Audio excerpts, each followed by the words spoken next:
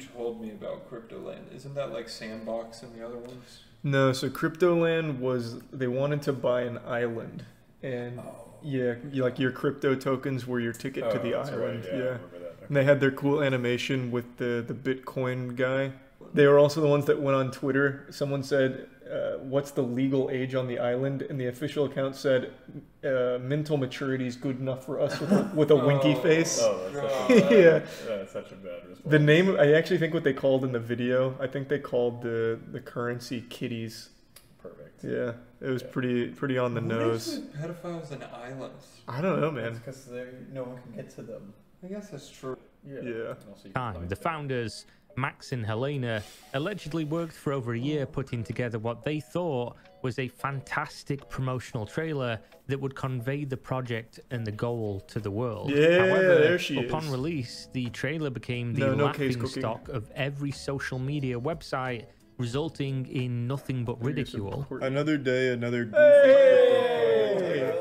It's a project headed We by like cryptocurrency enthusiasts to Oh, purchase an existing. Fijian island and develop it into a haven for fellow Holy cryptocurrency enthusiasts. Oh my god. As the dust has now settled on Hey, the thanks for the 10 project, gift subs, Ian communication Socks. has Thank stopped man. entirely. I decided to dig a little deeper Yeah, it's and see Pixar what I could uncover. I It seems that Cryptoland is dead once and for so I don't all, but there's more to be said before we fill the grave for good. Cryptoland was yet another solution looking for a problem that did not exist. A common in the Prime, concept in the world of cryptocurrency and for the people that make it core to their identity. Having communities surrounding the multi-trillion dollar market is apparently not enough. Instead, they needed to have a physical location where users could inhabit year round and live a perfect crypto video lifestyle to get away from what they refer to as fiat land, the world where the Jesus, rest of us. Inhabit, fuck, and escape to a tropical paradise God damn, where they could be surrounded by like-minded people. Not exactly a nefarious prospect so far, And the gift sub but one that was doomed to failure from the inception. There exists something called a white paper. A white paper can be quickly understood as a document explaining all the details about a given project. You're supposed to use said white paper as a That'll probably- unregulated yeah, investments. that'll fix it. The ridicule that Cryptoland's trailer suffered was not the biggest problem for Max and Oh, Helena's try to do. project. Instead, Oh, it yeah, was the contradictory Oh and It's- it's ridiculous Bitcoin premise with- of what they were Yeah, so actually, another interesting tidbit of lore. When they were getting dunked on by the whole internet, they started trying to send out cease and desist letters. Oh. hmm Just like random people. Yeah, to literal accounts with like five followers, they were getting like cease and desist letters from Cryptoland. Why are people so stupid? I don't know. Uh, I mean, it's crypto, so it was, they were hoping for like an easy slam dunk of a scam, Yeah. but it didn't really work. Were trying to do. Realistically, the trailer got millions and millions of eyeballs that it never should have had. If the project had merit on top of that, maybe it would have done well. They wanted to buy an island in Fiji Thank territory and build up infrastructure for not only a resort to operate servicing thousands of gonna own all inhabitants, of but also private, bottom's flat permanent luxury No. lodgings for up to 60 high rollers. continent is that? They called these It's an 16 plots of land the King Cryptolander plots, which were sold as non-fungible tokens and started at the low, low price of Oh my God, how did they not 750,000 US this? dollars. They were very proud of it. in ETH, the second most popular and valued cryptocurrency. The, the, the cool thing, plugs. what's Except for the amazing about, about this whole project, itself. Is this Crypto the guy? Land, I'm actually buying an ultra rare one of one in a collection of 10,000 NFTs, and that's dope, right? But like that ties to this actual oh, piece of land. Oh, of this was one of the I'm actually buying my first piece of land. Each sale Like of a King he liked NFT Yeah, he was- would he secure you one of the Thanks one acre coyote plots of land that bits came with fiber optic internet,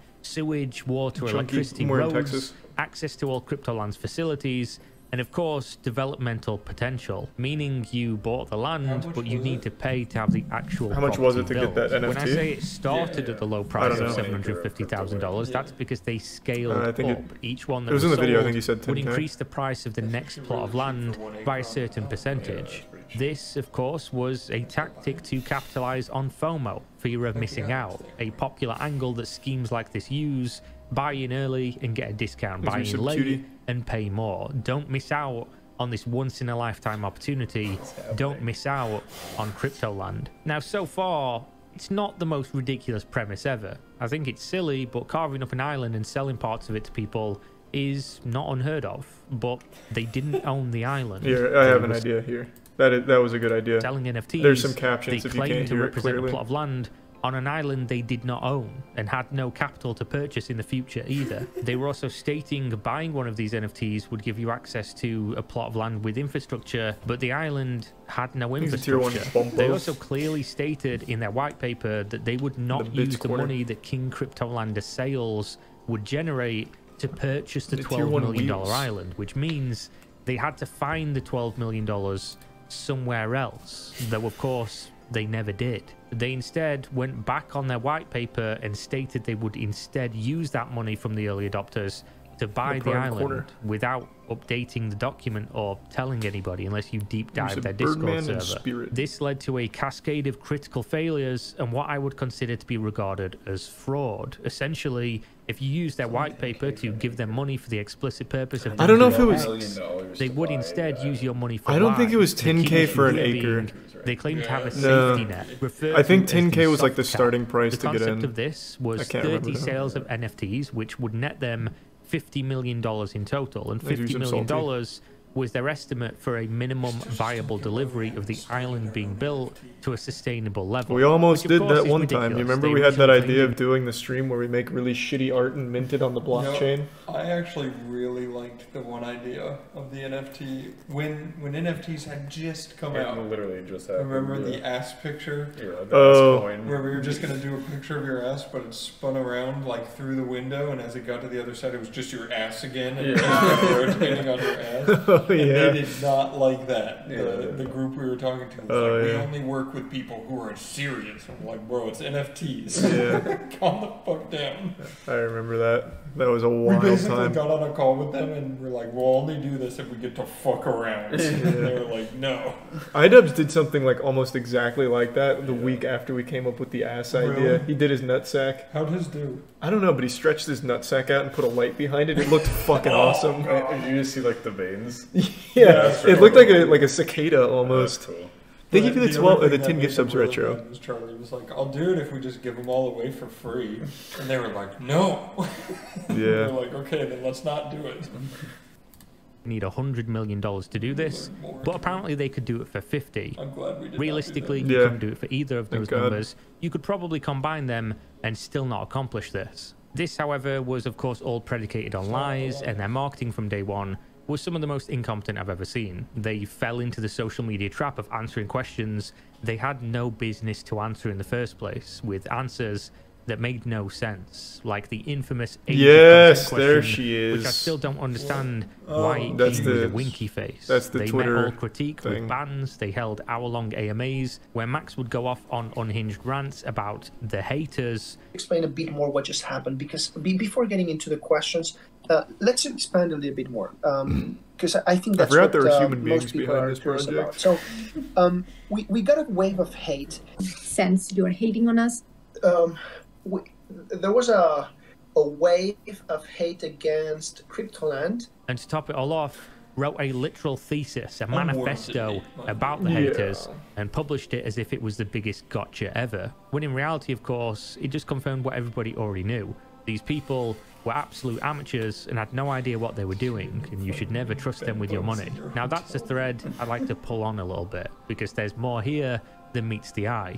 They partnered with a man named Kyle Chasse, a Yeah, Bitcoin early adopter that, That's despite Kyle being a Chasse. multi-millionaire, can be seen participating in frequent dunks on his audience, including undisclosed paid promotions, which is an FTC violation, Whoa. and heading up projects that mysteriously lose tens of millions of dollars overnight while under his care. He runs a YouTube channel So he's a where member he's a of FaZe? millionaire and he shows you all of his nice, cool things and tells you that you too can become a Let's see what millionaire. his channel's up to.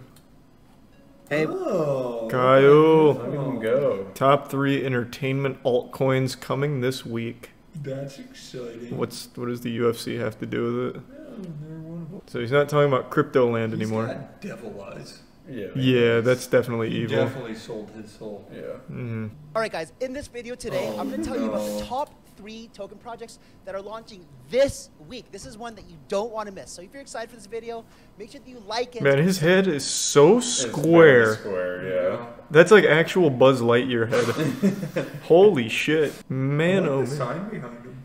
It, I mean, he's got a cool setup, but Yeah. man's out here looking like a thwomp.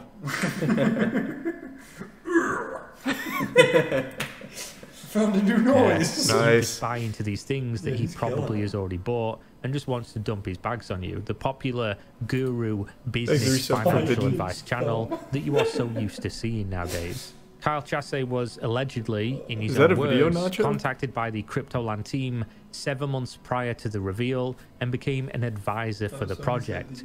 This gave me the is a lie. Kyle was involved with the project much earlier and in a much greater capacity than a simple advisor. According to my sources, Kyle was in fact the mastermind of the project and using Max and Helena as fronts, although we of course have to take that with a grain of salt. There were leaks of the website source code that revealed he was considered at times to be an actual paid member of the team, which I they just believe it. forgot I to remove. Kyle. And he also made either. content claiming to be the first to buy a plot of land on the island, which is of course confirmed by the blockchain. God, that's such a cool leather jacket. on November 8th, 2021 for 157 ETH. So I got curious and I went and found his wallet, easily tracked by using his Twitter bio that brags about monkey JPEGs in his possession. Thanks for some And this is the 157 ETH purchase of the King Cryptolander on November 8th, 2021, Brian going straight to the Cryptoland contract, which then sends that money to another wallet that is under the Cryptoland control before sending it to a third wallet where it remains for the next 84 days. I feel like scamming During using time, crypto is the worst Cryptoland idea because it's so easily tracked, yeah.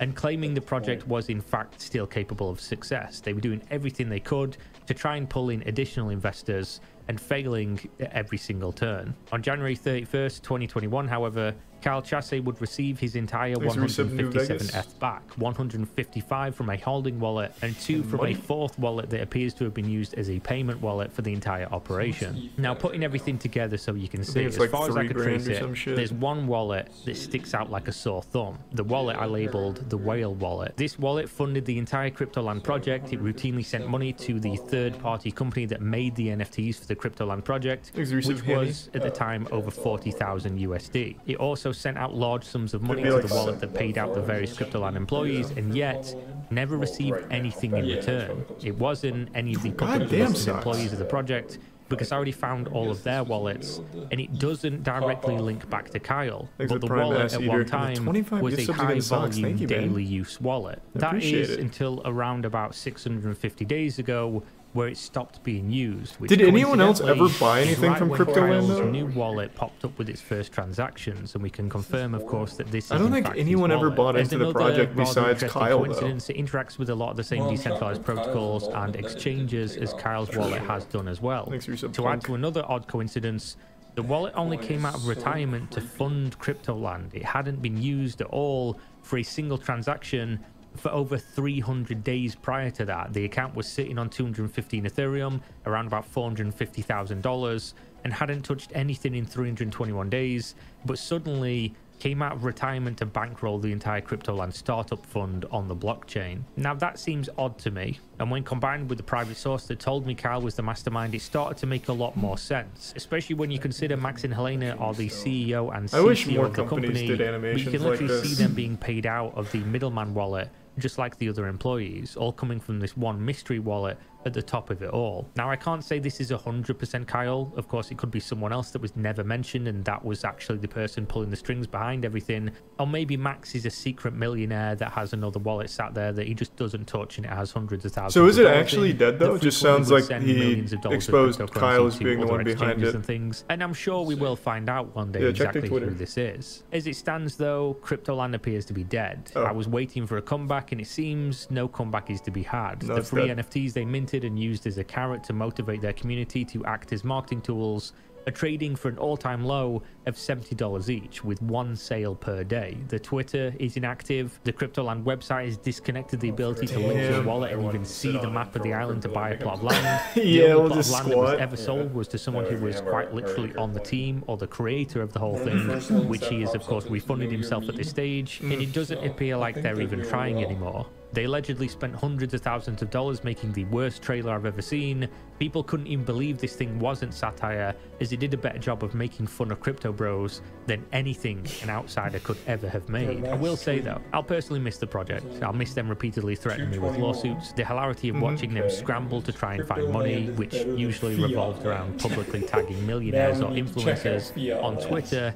and receiving no talking replies society, or Matt. shouting into the void of an unknown Weird don't fiat maybe land. somebody asking for quote visionary investors. I'll miss Kyle Chasse having the biggest platform. Actually, do me a favor, give- Matt. Look this guy up. His name is Crypto, the Crypto Lander. These kind of people always blow my mind. These are actual living, God-fearing human beings that do nothing but shill for a specific coin or NFT. Is he still active, or is he on suicide watch? His last retweet was December 8th. And it said, Win Lambo. And it was the crypto land guy with an exhaust pipe coming out of it. Damn. Maybe he started losing faith. Well, check all his replies. Maybe he's active on arguing. Alright, let's see. Nope. Oh. 1225. What's 1225.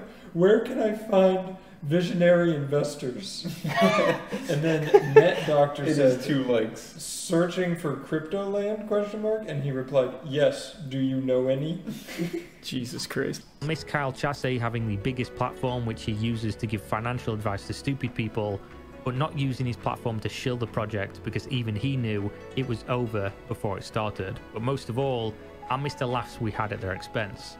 Thanks, Cryptoland. You were more fun than you had any right to be. Hopefully, you enjoyed the video. If you did, God, Patreon Crypto Land really was an amazing gift. People don't understand if it sounds too good to be true, it's fake. Man, what the fuck about Crypto Land sounded too good to be true? It was an island in Fiji for pedophiles. what do you mean?